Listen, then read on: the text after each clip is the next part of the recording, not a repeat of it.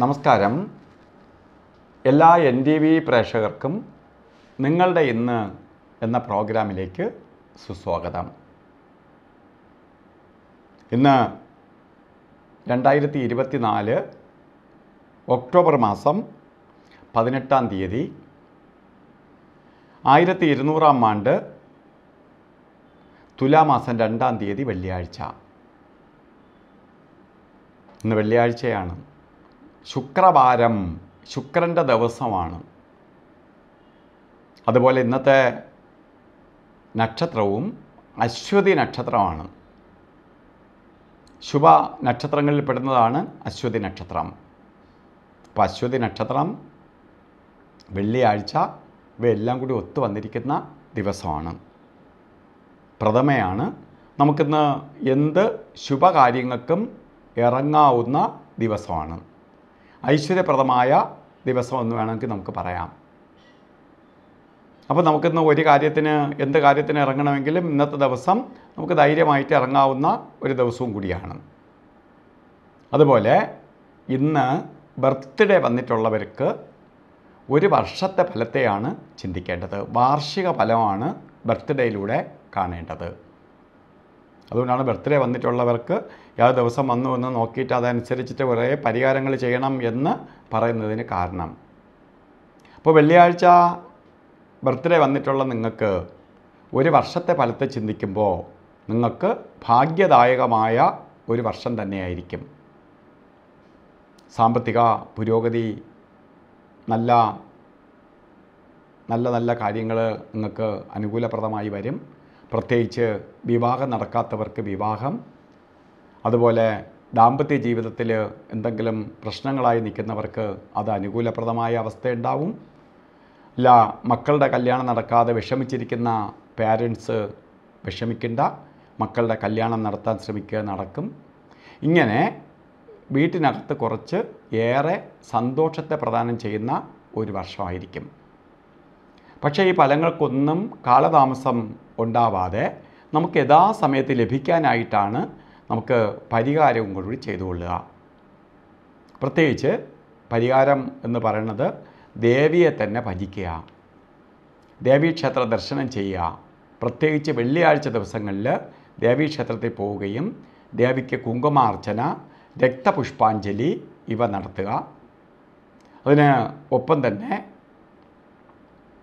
ക്ഷേത്ര ദർശനത്തിന് ഒപ്പം അമ്മയെ അത്രയ്ക്ക് ഭജിച്ചു പോവുക. ദേവി മഹാത്മ്യമോ അല്ലെങ്കിൽ ലളിതാ സഹസ്രനാമമോ വായിക്കുക. ഇതൊക്കെ നമുക്ക് ഭാഗ്യത്തെ കൊണ്ടുതരാനും ഭാഗ്യവർദ്ധനവുണ്ടാവാനും സഹായിക്കും. ഇന്നത്തെ ദിവസം നല്ല ദിവസമെന്ന് ഞാൻ പറഞ്ഞു. എന്നാൽ ഓരോ കാര്യത്തിന് ഇറങ്ങുമ്പോഴും നമുക്ക് വീട്ടിൽ നിന്ന് ശുഭകാര്യത്തിന് ഇറങ്ങുമ്പോൾ നല്ല സമയം നോക്കി ഇറങ്ങുന്നത് നന്നായിരിക്കും. പ്രത്യേകിച്ച് രാവുകാലം ശുഭയാത്രയ്ക്ക് ശുഭകാര്യങ്ങൾക്ക് ഇറങ്ങാൻ കൊള്ളത്തില്ല. യാത്രയ്ക്ക് കൊള്ളത്തില്ല. അതുകൊണ്ട് രാ ശരിക്കും കലണ്ടറിലൊക്കെ പത്തര തൊട്ട് പന്ത്രണ്ട് മണി വരെ എന്ന് രേഖപ്പെടുത്തിയിട്ടുണ്ടെങ്കിൽ പോലും രാവുകാലം ഇന്ന് പത്ത് മണി നാൽപ്പത്തൊന്ന് മിനിറ്റ് തൊട്ട് ഇപ്പോൾ പന്ത്രണ്ട് മണി പതിനൊന്ന് മിനിറ്റ് വരെ രാവുകാല സമയമുണ്ട്. ഈ സമയം നമുക്ക് ശുഭകാര്യങ്ങൾക്ക് യാത്ര തിരിക്കാൻ കൊള്ളത്തില്ല. അതുപോലെ ശുഭകാര്യങ്ങൾക്കൊന്നും കൊള്ളാത്ത രണ്ട് സമയങ്ങളാണ് ഗുളികകാല സമയവും യമകണ്ഠകാല സമയവും. അതിൽ ഗുളികകാല സമയം വരുന്നത് രാവിലെ തന്നെ ഏഴ് നാൽപ്പത്തഞ്ച് തൊട്ട് ഒമ്പത് മണി പതിമൂന്ന് മിനിറ്റ് വരെയും യമകണ്ഠകാല സമയം വരുന്നത് മൂന്ന് ആറ് തൊട്ട് നാല് മണി മുപ്പത്തിനാല് മിനിറ്റ് വരെയും ഈ സമയം ഒരു ശുഭകാര്യത്തിനും എടുക്കരുത്. കാരണം ഈ സമയത്ത് ചെയ്യുന്ന കാര്യങ്ങളെല്ലാം ഗുളികന്റെയും യമകണ്ഠന്റെയും ഇടപെടലുണ്ടാവും. അവരിടപെടുമ്പോൾ എന്തു ചെയ്യും? അതിനെ നെഗറ്റീവ് ആക്കി കളയും. അതുപോലെ നമുക്കിന്ന് നല്ല ദിവസമാണ്. എന്ത് കാര്യത്തിനും ഇറങ്ങാവുന്ന ദിവസമെന്ന് ഞാൻ പറഞ്ഞു. എങ്കിലും നമുക്ക് അതിൽ ശ്രേഷ്ഠമായിട്ടുള്ള ഒരു സമയമാണ് അഭിജിത്ത് മുഹൂർത്ത സമയം. ഇന്ന് അഭിജിത്ത് മുഹൂർത്തം വരുന്നത് പതിനൊന്ന് മണി നാൽപ്പത്താറ് മിനിറ്റ് തൊട്ട് പന്ത്രണ്ട് മുപ്പത്തിനാല് വരെ അഭിജിത്ത് മുഹൂർത്തത്തിന്റെ സമയമാണ്. നാൽപ്പത്തിയെട്ട് മിനിറ്റ് നേരം. ഈ സമയം എന്ത് ശുഭകാര്യങ്ങളും ചെയ്യാം.